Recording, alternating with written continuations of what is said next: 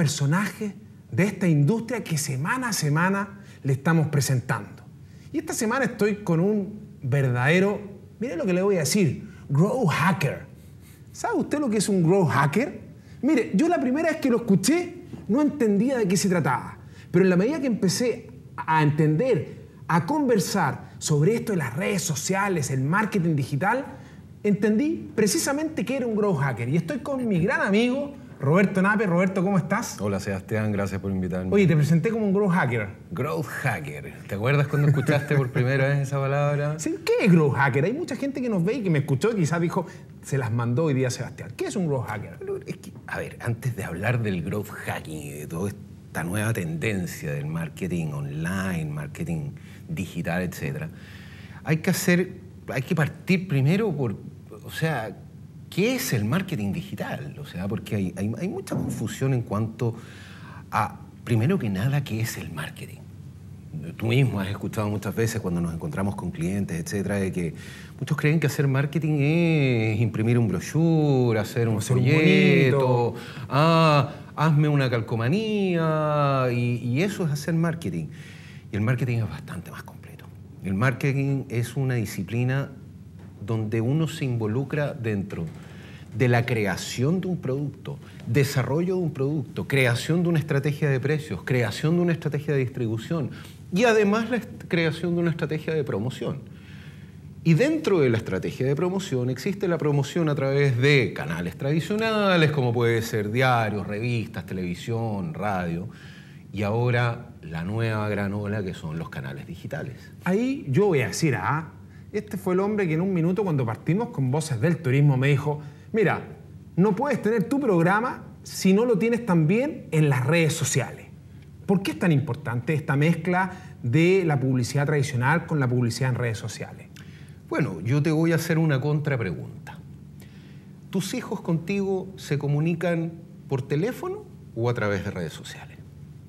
Me escriben en WhatsApp, me escriben al es Facebook. Decir, a través de redes sociales. Claro.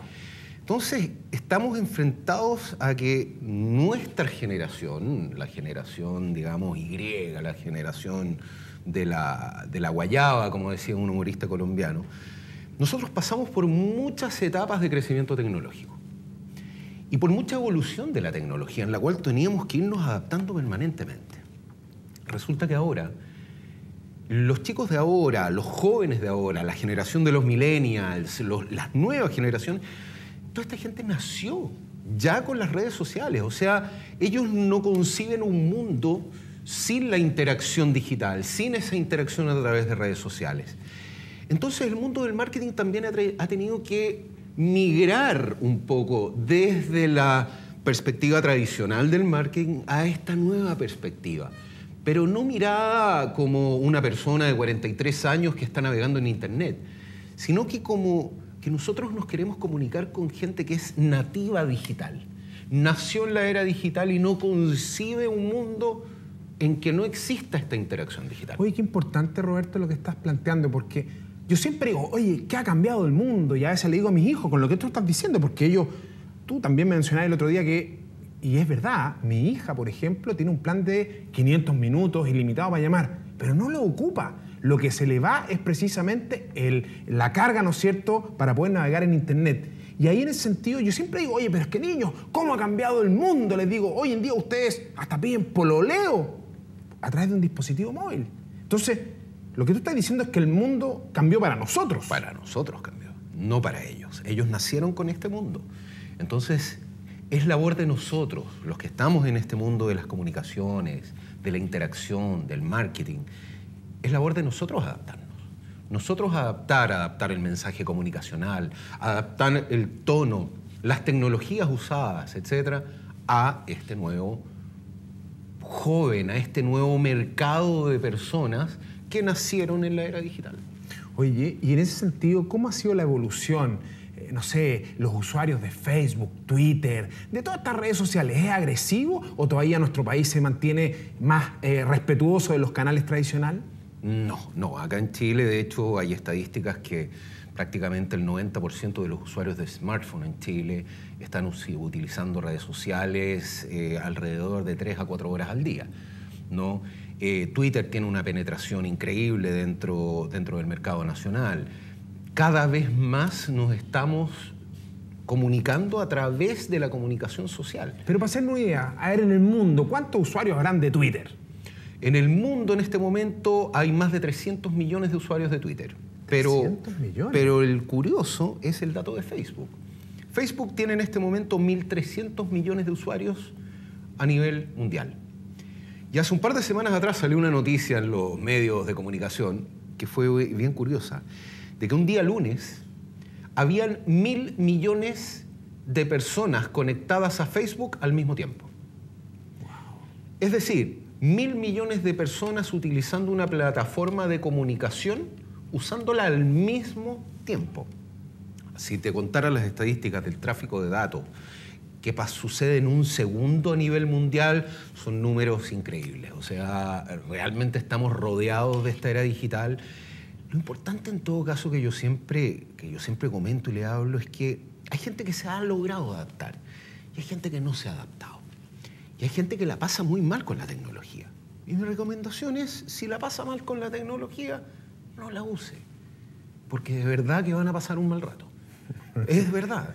Pero no te vais quedando atrás si no te metes, porque si- esto es como un río con mucha corriente. Entonces, si la corriente va para allá y tú te vas quedando fuera, Depende mucho qué es lo que tú quieres hacer. Si quieres, por ejemplo, mi madre, que ya tiene 78 años, ella nunca logró entender todo esto de la computación, de las redes sociales, del internet, etc.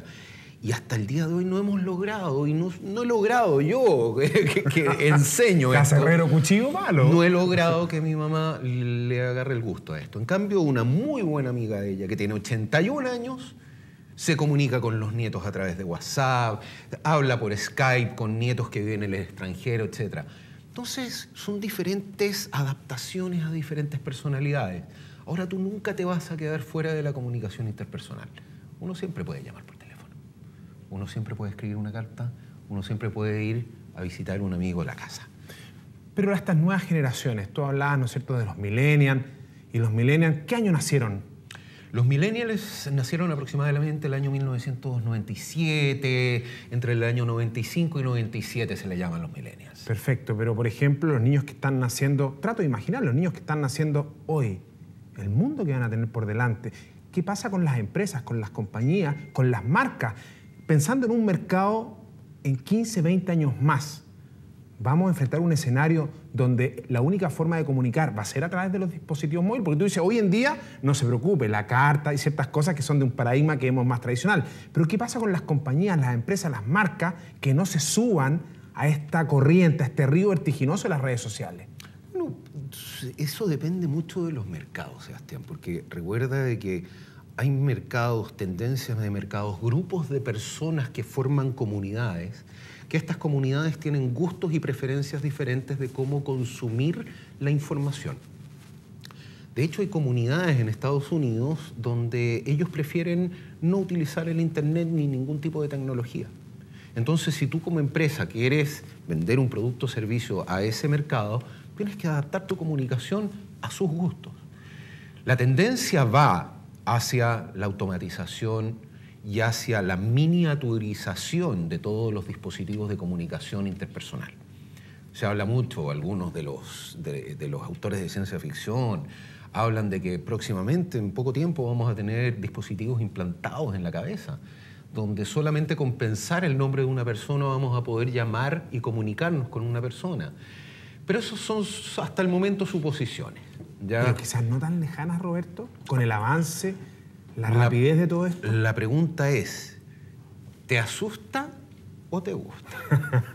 Con la pregunta que nos hace Roberto, nos vamos a ir a un hotspot del turismo de esta región de la Araucanía. Te invito a ver estos paisajes maravillosos de la Araucanía.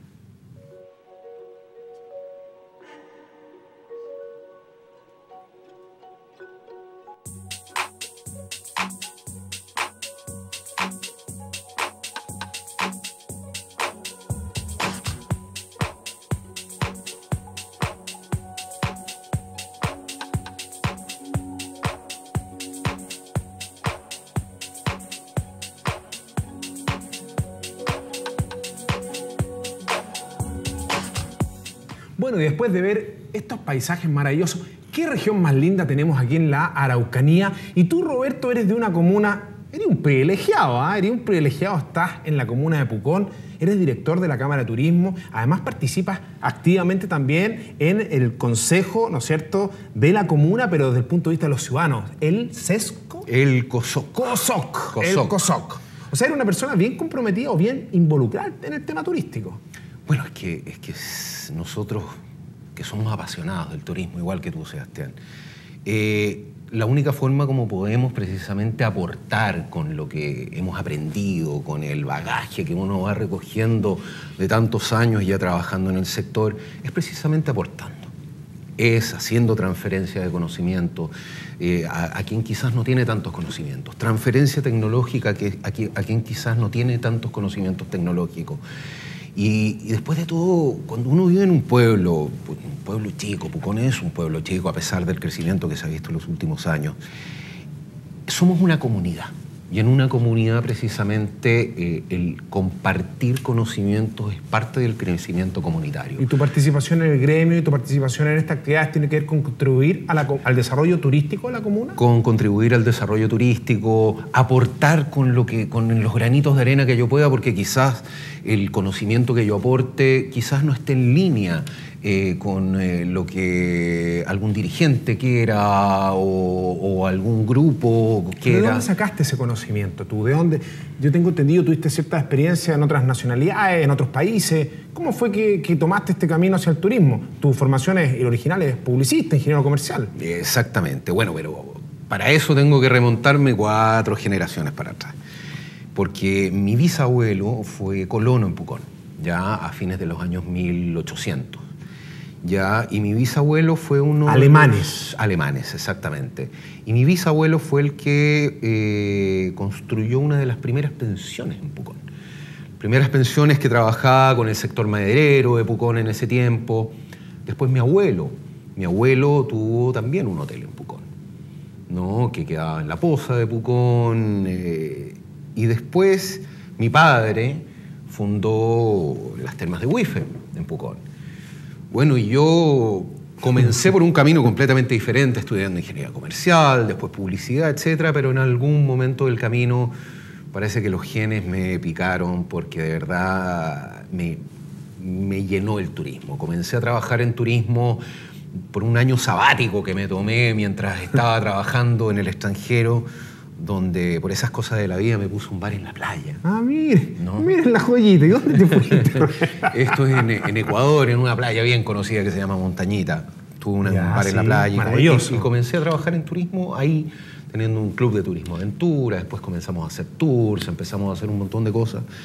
Y de ahí la vida me llamó y me fui a vivir a las Islas Galápagos.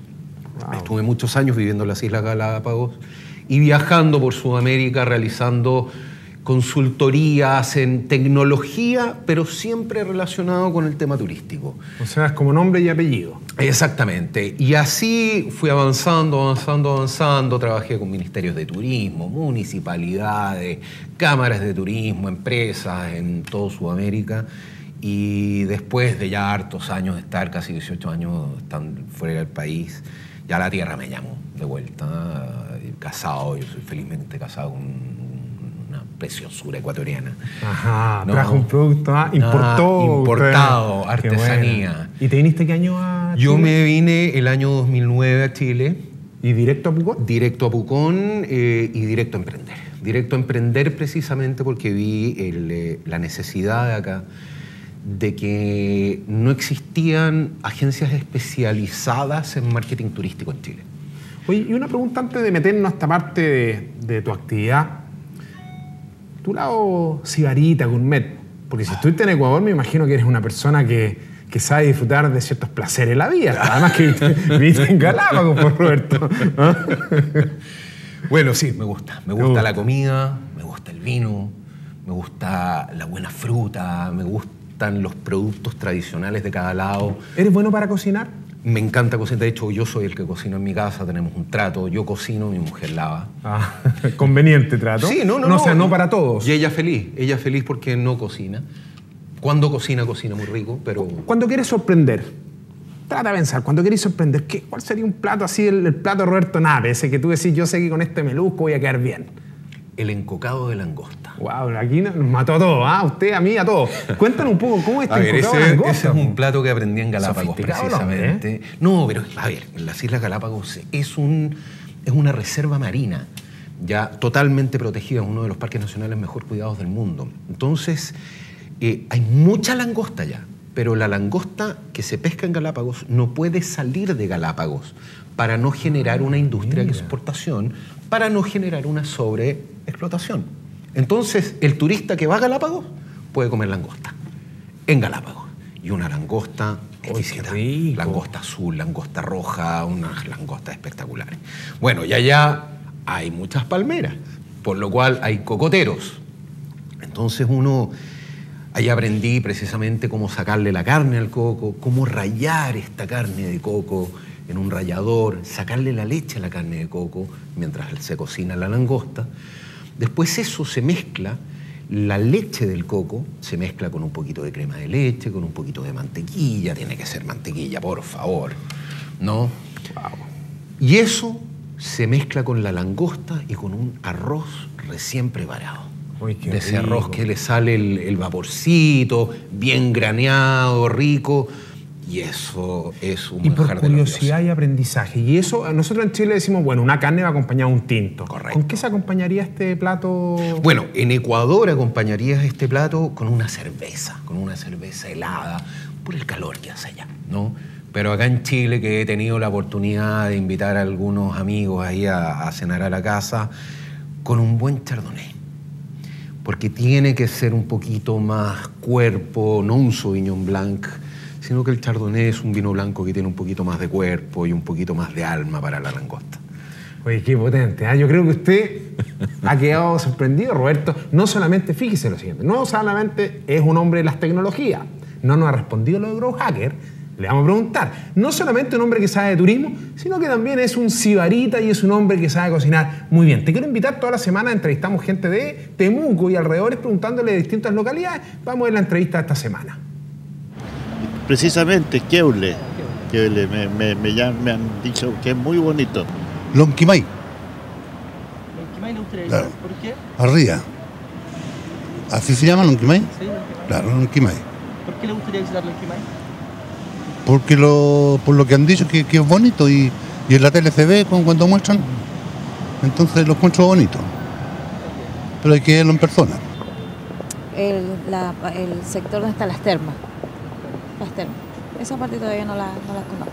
He pasado por fuera, pero no todavía no, no me he interiorizado hacia adentro todavía. Bueno, y seguimos aquí en Voz del Turismo en esta conversación magnífica con Roberto Nave, un apasionado, un cigarita. Pero Roberto, yo te partí el programa preguntando qué era un growth hacker. Cuéntale a la gente, ¿qué es un growth bueno, hacker? Es que ahora te lo puedo explicar. Growth hacker se le nombra a los profesionales del marketing que tienen conocimientos, muchos conocimientos de las tecnologías disponibles como plataformas para realizar mercadeo, como también tienen formación en el marketing tradicional. ¿Para qué? para poder lograr hacer el mix de medios tradicionales con el mix de medios digitales. ¿Y todo esto con qué sentido? Generar crecimiento. Pero ahora el término crecimiento en las nuevas empresas ya no se basa en el crecimiento solamente de las ventas, en el crecimiento de la percepción, sino que ahora se habla del crecimiento social. ¿Cuántas personas te siguen? cuántas personas interactúan contigo, cuántas personas se transforman en evangelizadores de tu marca. Y todo este marco de crecimiento, de mix de marketing tradicional con el marketing digital, todo esto se basa en estrictas mediciones de métricas. Todo lo que hace un growth hacker tiene que ser medido para saber los resultados, para saber qué hay que modificar, para saber qué se puede mejorar. Es un continuo proceso de producción, medición, rediseño y producción nuevamente. Y en ese sentido, Roberto, por ejemplo, ¿cuáles son algunas métricas que una, una campaña de marketing digital uno pudiese considerar? Por ejemplo, el engagement. El engagement es una métrica de cuántas personas interactúan con algún contenido que uno pone en una red social. Es decir, ¿cuántas personas le pusieron like a tu comentario en Facebook, por ejemplo, o a tu anuncio en Facebook? Esa es una métrica. Otra métrica puede ser cuántas personas comentaron esa publicación tuya, que es una métrica un poco más potente porque ahí hay un engagement o una interacción más cercana. Y el unicornio de los engagement es cuántas personas comparten tu contenido. ¿Por qué? Porque en el momento en que personas comparten tu contenido, se transforman en, evangelizadores. O sea, hay gente muy comprometida. Hay con- gente que se compromete con lo que tú publicaste. Por eso los videos virales, por ejemplo, se transforman en grandes fenómenos del Internet, con muchas visitas y mucha visibilidad, etc. ¿Por qué? Porque es algo que a ti te da ganas de compartir con tu círculo de amigos, de conocidos, etc. Y eso se va multiplicando geométricamente por la cantidad de personas que ven y esas personas lo vuelven a compartir con sus conocidos. ¿Ese es el video marketing? No, eso es el video viral, por ejemplo, o el marketing Perfecto. viral, que es cuando uno publica contenidos que son, eh, pueden a, a veces ser morbosos, pueden a veces ser divertidos, pueden a veces ser sentimentales. Es cuando dicen, oye, este video que se subió a YouTube alcanzó no sé cuántas miles de visitas en pocos minutos. Exactamente, exactamente. ¿Las empresas pueden tomar esto como una oportunidad comercial para vender? Bueno, promocionar, difundir. De hecho, muchas empresas lo han hecho. Porque ha cambiado el modelo de promoción. ¿ah? El modelo de promoción ya no es enfocarse en un producto o servicio, sino que en los beneficios, pero en los beneficios emocionales que te produce una marca en este momento.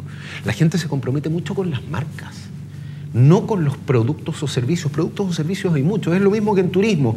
Hemos hablado muchas veces que la gente ya no compra camas. La gente compra experiencias. Camas las tiene todo el mundo. En, en diferentes foros de turismo hemos hablado mucho de que de los hoteles o los centros turísticos que promocionan que tienen TV cable. En este momento, si tú no tienes TV cable, es, es- es algo inconcebible por el público de hoy. Entonces, no es un elemento que sea promocional. El elemento promocional tuyo es, no tengo TV cable. ¿Por qué? Porque quiero ofrecerte una experiencia de retrotraimiento, de relax, donde no tienes interacción con tecnología. Por ejemplo, podría ser una. Oye, qué interesante, Roberto. Y cuando uno piensa en este mundo digital, en este mundo que las compañías pueden tomarlo como una oportunidad, te entiendo por lo que dices que hay que ir mezclando los medios tradicionales con los medios digitales para ir construyendo una campaña que aborde la integración de estos dos soportes o formatos. Exactamente. ¿Tú lo estás trabajando hoy en día? Sí, sí, nosotros, bueno, desde hace ya varios años que, que he estado incursionando dentro de eso. Como te decía, yo tengo forma- form- formación como ingeniero comercial, como publicista y después mucha autoformación en el tema de, de tecnologías digitales.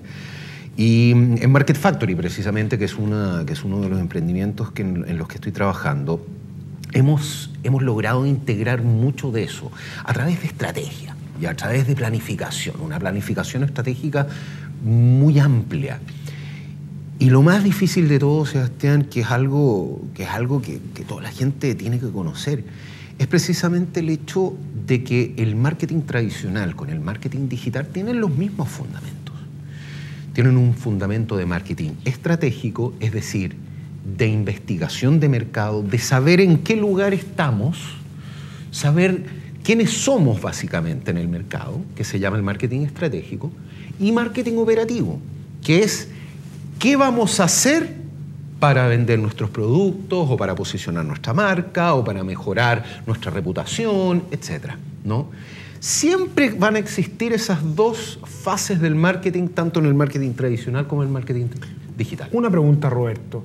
Entonces, aquel especialista o experto en marketing que sugiere sin investigar, bajo tu mirada, ¿qué sería? El día de hoy eh, yo, sería, yo diría que sería solamente un propositor de ideas.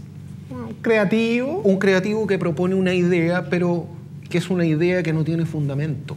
¿Qué es lo que da el fundamento? La investigación de mercado, el saber en qué situación está mi empresa, producto, servicio o nuevo producto que quiero lanzar al mercado. Pero con la dinámica tan rápida hoy en día del mercado, cuando uno ve las típicas encuestas, la gente sale a la calle con sus cuadernitos, lápiz y papel y hacen la encuesta, en que la hacen, la tabulan, pasan esas 3, 4 semanas y el mercado es así, especialmente en redes sociales. Hay sistemas más modernos de investigación que permitan a una marca, a una compañía tener datos en al instante. A ver, nuevamente vamos a hacer contexto.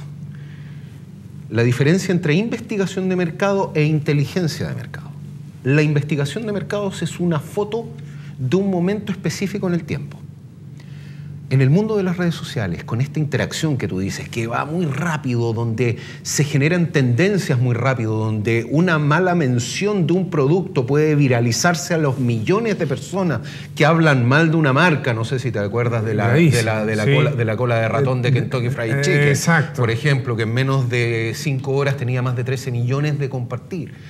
Y todos los problemas que muchas veces las marcas en las líneas aéreas, las terminales de bus, en general uno ve en redes sociales. Entonces, para esto, ya se, se- estamos hablando de inteligencia de mercado. ¿Qué es la inteligencia ¿Qué es de la mercado? inteligencia de mercado? Es realizar estudios de mercado, pero a lo largo del tiempo.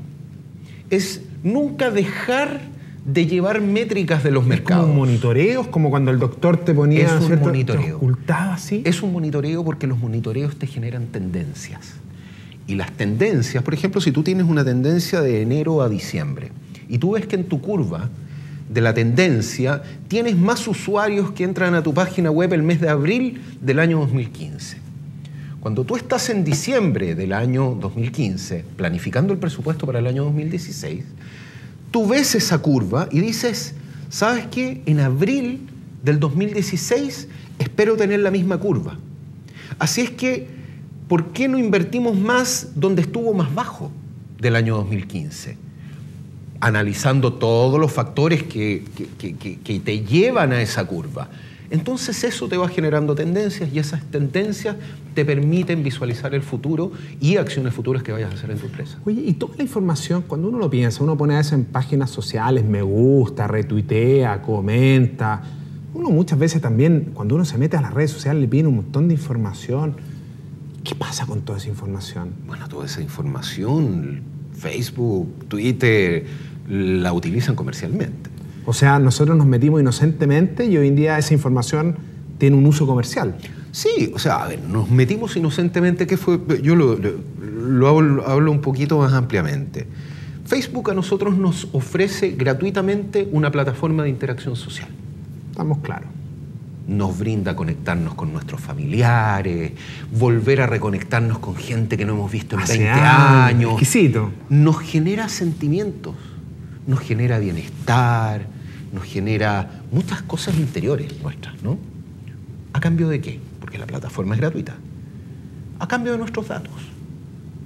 Y Facebook comercializa esos datos, precisamente para que empresas puedan segmentar públicos objetivos, para hacer campañas promocionales, segmentar por edad, género, ubicación geográfica, gustos, etcétera, etcétera, etcétera. Toda esa información está disponible para las empresas, no individualizada, pero sí está disponible para las empresas para que puedan eh, segmentar campañas promocionales. Y ahí está el marketing digital entonces, cómo puede tomar toda la investigación que generan estas estas redes, esta información, y generar campañas muy segmentadas o focalizadas a gusto, porque uno pone me gusta la música, qué disco... O sea, hay Exactamente. mucha información. No, y ahora tienes que tener súper claro que la nueva era del marketing digital va muy enfocada a la customización del mensaje. Las personas quieren que uno, como empresa, se comunique de uno a uno con el mercado. Nos está viendo mucha gente, Roberto, una pregunta que siempre los papás me la hacen, y tú que eres un experto en el ámbito de tecnologías digitales. Con los hijos, ¿cuáles son los cuidados que debemos sostener con este mundo tan evolucionado con redes sociales y con tanta información? Yo creo que a través de mucho tiempo eh, no, no hay que evitar el hecho de la tecnología. Yo siempre he dicho que hay que guiar, ¿no? Hay que guiar en el uso de la tecnología, hay que guiar en el abuso de la tecnología. Como tú bien sabes, por ejemplo, yo que estoy muy metido en la tecnología, yo no acepto grupos de WhatsApp. A mí no me gusta estar en grupos de WhatsApp. ¿Por qué? Porque está permanentemente el teléfono sonando y piteando, etcétera, etcétera. Y yo mm, sé que eso a mí me va a producir una merma en mi productividad, en mi relación familiar, en, eh, en- en- en mi el cuidado de, de mí mismo. Que es cierto lo que estáis hablando, Roberto, potente. ¿ah? O sea, y no solamente eso. eh, hay un, hay un, un experimento, de hecho, en Estados Unidos, que es precisamente de una familia, todos hablando por teléfono, etc. Y inventaron un moledor de pimienta, donde tú mueves el moledor de pimienta y de- desconecta el wifi de la casa. Y claro, la- se muestra a la madre llamando a todos los hijos a comer y cada uno conectado desde su aparato y todo el asunto, hasta que la madre llega y desconecta el internet con este aparatito. Pasaron dos minutos en que hubo caos en la casa, ¿qué, qué pasó con el internet, con mi plan, con ya no tengo, no puedo comunicarme, etcétera. Pero resulta que pasados los cinco minutos, los hijos empezaron a conversar entre ellos y se generó una atmósfera familiar. Entonces, yo creo que la guianza de esto pasa por guiar de tradiciones familiares o de elementos de relación familiar que no se pueden quebrar. Y en esos elementos de relación familiar, dejar las reglas en claro, de que cuando se come No se whatsappea. no se whatsappea. De hecho, hay muchos restaurantes que te ofrecen una canasta Sí, sí, para que todos pongan los teléfonos adentro de la canasta y el primero que agarra el teléfono paga la cuenta. El tiempo pasa volando, esta cuenta la pago yo, amigo mío. Muchas gracias por estar en Voces del Turismo. Espero que no sea ni la primera ni la última, amigo, porque el tema da para largo. Hay mucha información, hay mucho dato que la gente que sigue nuestro programa quiere informando. Así que te agradecemos tu presencia hoy día y nos encontramos en próximo Voces del Turismo.